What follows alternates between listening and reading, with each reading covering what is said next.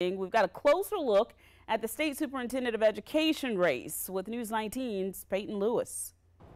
Tonight we're here at the State Board of Education office where in just a few months there'll be a new state superintendent in charge. After the primary election race tonight, it'll narrow down the candidates for this race. So there are nine candidates running for the state superintendent, six Republicans, three Democrats. The state superintendent is in charge of all public school funding and where it goes, what it's allocated to between the state and federal funding that these schools get. They also convey what the public schools need when they're in meetings with state legislators and federal lawmakers as well. The state superintendent this time in this race will want to focus on core learning subjects. So math, reading are very big topics in this race. Parent focused education as well. What parents have a say in when it comes to education. They're also focusing a lot on teacher retention in this race as well.